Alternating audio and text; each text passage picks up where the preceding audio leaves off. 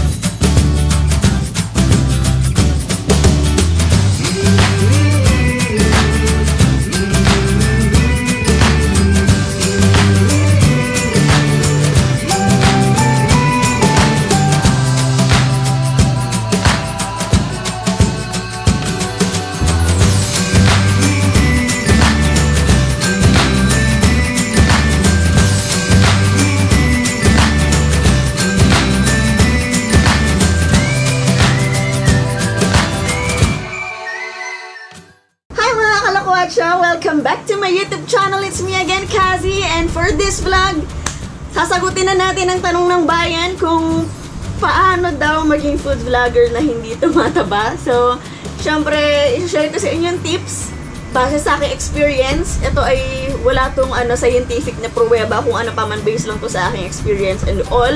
And Ayun din, uh, spoiler alert din, um, I'll be giving away two tickets for YouTube Fan Fest 2019.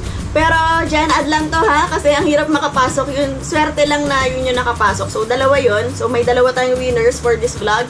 And para malaman nyo yung mechanics and all, please keep on watching.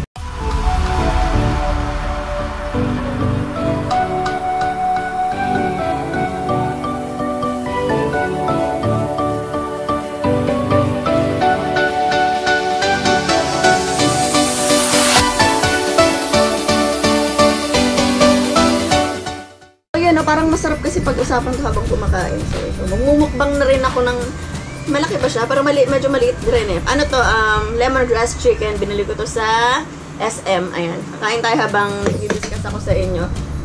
So, yun. Um, first step para dun sa ating giveaway is like and subscribe kayo sa akin. so, sabihin nyo pag may tinga ako. Nandyan yan nga. Tapos comment nyo down dyan. Hashtag Cassie Choose Me. And then comment nyo kung sino yung favorite nyong YouTuber. Tapos yung mag-share sa Facebook is mas may additional points. Yun. And then yun, wait lang. okay. Hindi pa rin tapos. Okay, tuloy na natin yung sa ating tanong ng bayan, paano daw maging food vlogger nang di daw tumataba? Bakit daw kain ako ng kain ng ganyan, pero pag rumarampa ako is, ano, nakat nakatupit pa ako, mga ganun. Sarap pa. Well, ang sikreto kasi kung bakit, ah, walang katotohanan din hindi ako tumataba. Kasi, tumataba ako. Hindi totoo yun, hindi ako tabain. Saka, hindi totoo walang mataba sa pamilya namin. Meron. The point is, kaya na may maintain yung fitness is mabilis yung metabolism. And para mabilis metabolism, mabilis matunawan, ayan, yun yung kailangan yung i-target na dapat mabilis kayong matunawan. So, paano mangyayari yun? Ginagawa ko, kasi ngayon wala na kasing exercise yan. Before kasi, nung college, hindi ako nag-diet kasi lagi kaming tagtag sa training, ganun. Pero ngayon, meron na ako mga diet plan na effective sa akin, i-share ko sa inyo mamaya. Yun. Pero una, para bumilis yung metabolism natin is dapat marami tayong inom ng tubig. Nakita niyo ba yung makain ako ngayon, di ba? Tubig na katabi ko ganito. Kaya, ko ito ubusin. As in. Tapos sa office, nakaswari ako inom ng tubig. So, isa yun sa reason kung bakit magiging maganda yung metabolism ko kasi marami ako magtubig. And then, exercise. Di nyo kailangan na mag-gym or whatever. Ako, hindi ako nag-gym. Tamad ako eh. Siguro pinaka-exercise ko yung sayaw, pero hindi naman kasi yun lagi. Tapos, ang ginagawa ko, naglalakad ako, pag pauwi, galing trabaho, hindi ako nagdadala ng sasakyan lagi. O merong araw, hindi naman kailangan araw-araw. Sa isang linggo, at least mga twice or thrice maglakad ka. Nakakatulong na yun, hindi mo naman kailangan mag-jogging eh. Kasi, ngayon pa pala, pag naglalakad kayo, practicein nyo na nakatight yung abs. Yes nyo ba? Sanayin nyo pag naglalakad ka, hindi nakarelax yung dito, yung sa chan, dapat naka-inhale. Dapat nakatak pa rin siya kahit naglalakad kayo para nade-develop yung ano, yung form, tas hindi naman laki yung chan. Gets? So, papractice yun yung parang feeling nyo lagi kayong model, ganun. Hindi yun kaartihan sa paglalakad kasi ano yun, pag maintain nyo ng flat na chan. So, sa practice nyo, papakiramdaman yung sarili nyo kung ano, kung naglalakad ba kayo ng tama o nakalabas yung chan nyo, ganun. Kasi yung pa pa yung naglakad naka-relax, nakababa yung tummy. So, ang nangyayari, natutuloy na lumaki yung chan. So, it's a no-no, yung mga ganung bagay. And then, ngayon, syempre summer na. Yung ginagawa ko, pagka may swimming, meron ako one week diet. Ito yung mga diet na na-try ko. Yung una, night diet. Ay, ibig sabihin, hindi na ako masyadong kakain sa gabi. Or, hindi ako mag-heavy meal sa gabi. Siyempre, walang rice. Tapos, ang kakainin ko lang is ay, ang kapalit ng rice ko is either tofu, fried tofu, or whatever tofu yan, kung ano man yan, kahit anong luto, or chicken breast, or tuna. Yun yung kinakain ko sa gabi. Pwede rin namang biscuit lang, pero minsan kasi parang carbs pa rin yan. Eh. And then, yung pangalawang diet is one rice a day diet. Mag-rice lang ako ng lunch lang. Hindi kasi ako breakfast person eh. So, basta pag naka-isang rice na ako sa isang araw, tama na yun. The rest, buong araw, kahit kumain ako ng kumain, basta hindi ako mag-rice ulit. So, one rice a day lang. Next, no soft drinks ng one week.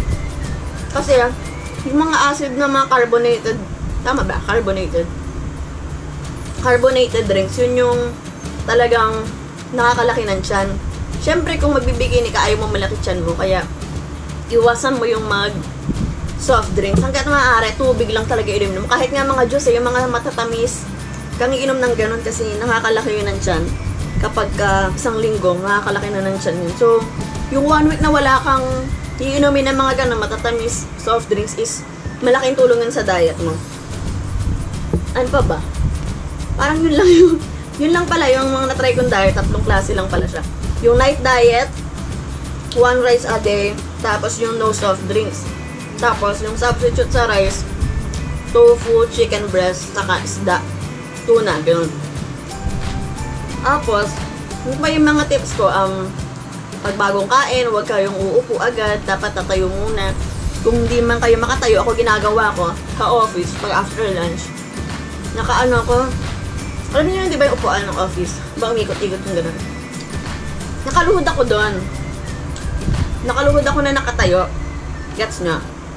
Yun na, di ba kasi may dalawang klase kasi ng luhod eh. May luhod na naka, nakatiklop yung ano mo eh. Para nakaupo ka doon sa heels mo. Pero may luhod na nakaangat ka sa heels mo. Kung nagets nyo, hindi ko ma-demo eh. Bala na kayo, nagets nyo.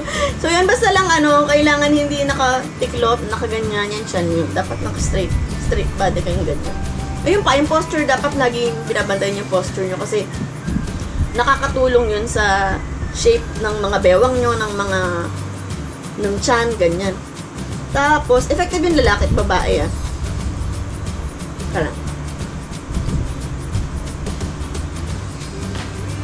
Hmm?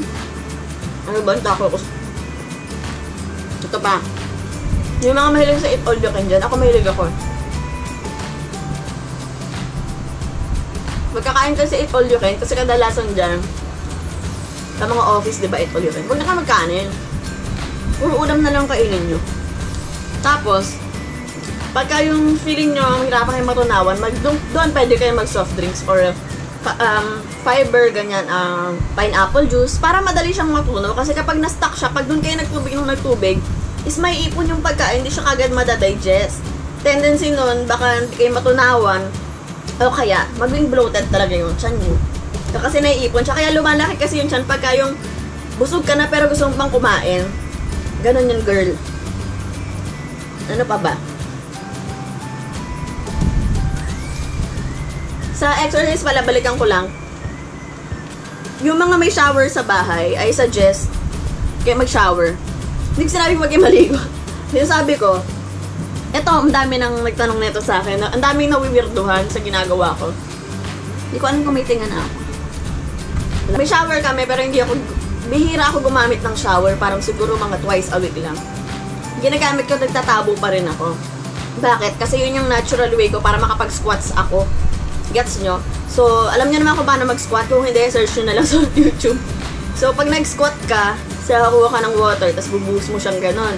Tapos, pagbaba mo, kuha ka uli ng tubig, tapos tatayo ka para magbuhos. Ganon. So, nangyayari siya naturally. So, hindi mo na, hindi ka na nai-stress na, ay, nakapag-squats na ba ako today? Ay, kasi nagawa mo na siya habang naliligo ka. Which is, ang laking tulong yun kasi hindi lang yun sa puwet, sa chan din yun, sa lower din yun. Basta dapat, pag gagawin yan, kagaya nung sinabi ko na paglalakad nyo na na dapat nakatight yung abs, ganon din siya. Dapat lagi niyang bantayan. Minsan yung ginaganong-ganong ka pa siya kung matigas siya or hindi. Hindi na ako masyado nakakapag-exercise kasi kasi buong buhay ko, in 6 years, gano'n yung ginagawa ko. So, parang inatamad ako. so, umisap ako ng ibang way para magawa ko siya natural. And sana maging effective sa inyo kasi sa akin effective yun. Ayun, yun lang naman yung tips ko. Ang sarap ng manok. Sana may natutunan kayo. And again, dun sa giveaway, yun lang. yun lang pala yung mechanics. Hindi, ano, um, yun nga sabi ko, merong additional points yung mag-share nung video, itong video na to. And yun, bakit kayo yung dapat kumpadian? Basta, bahala na kayo dun sa sa comment. Hindi ako nag-ano kasi yung yung comment na comment picker na app. Parang ganun, random. Random selection. Hindi, ako talaga yung pumipili. Binabasa ko talaga yung mga comment nyo. Para pag feeling ko deserving, hindi yun yung pinipili ko. Ayun lang. Pwedeng, mang, pwedeng ang manalo ay tig-isa magkahiwalay or isa lang siya tapos bibigyan ko yung dalawang ticket. Bahala na. Tapos, i-announce ko yun sa Instagram. Kaya i-follow nyo ako sa Instagram. Nandyan yung link na Instagram ko sa description. Tapos, ayun. Ah, yun lang, good luck sa mananalo. In fairness ito sa manok ng SM, ah, sarap. Sulit to kasi 156 lang po. Mas mura kasi yung sa mga chooks to go sa Andox. Ang sarap. Kain. Kaya hindi totoo yung, yung masinsabi lang ako tabain, ako matakaw. Dahil pag tinanong mo yung mga boss ko, pagka nag-eat all kami sa opisina, tinatanong nila sa akin lagi saan ko daw nilalagay yung kinakain ko. Kasi isa ako dun sa mga, ano, matagal makaubos, eh, hindi, I mean, matagal kumain kasi ang dami pang kinakain. Yung mga parang, lagi nilang maririnig sa akin, okay, next plate. Kung nanonood kayo ng mga, ano ko, food vlogs, matansi kong laway ko. Kung nanonood kayo ng mga food vlogs ko, proven and tested nyo na naman yun. Gagkit. so, ayun, nagtataka kayo bakit ganito karaming kinakain ko. Kasi, okay lang kumain ako ng ganito karami ngayon kasi hindi ako nag-rice. So, pag di ako nag-rice, yun yung mga substitute ko, ulam-ulam lang. Ayun lang, siguro dito ko naman natapusin ang vlog na to. Good luck sa mananalo ng YTFF tickets. Welcome din sa mga bagong kalakwatsa dyan. Sana mag-enjoy kayo din sa mga videos ko and all. And sana may natutunan kayo sa tips na to, lalo na summer ngayon na kailangan natin ng beach body, yan, mga ganyan. ba? Diba? Ano yung papala, last na tip ko, kung gusto nyo ng mabilisan na pantakyas ng chan, effective yung Muay Thai. Hindi pa lang ako nakakabalik ngayon, hindi pa ako nakasuntok ulit. Pero usually, nagmamuay Thai ako before. And sobrang bilis talaga, ang bilis makatapyas ng taba nun.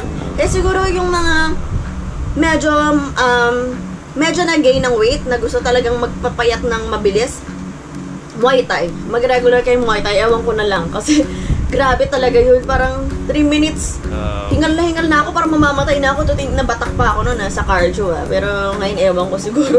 Ngayon, isang round pa lang tumba na ako. Sobrang effective talaga. Yun lang mga kalakwatsa. Maraming maraming salamat sa mga nanood. Thank you for watching. See you next trip. Like, comment, subscribe, ring the bell and everything. Thank you ulit. Bye-bye.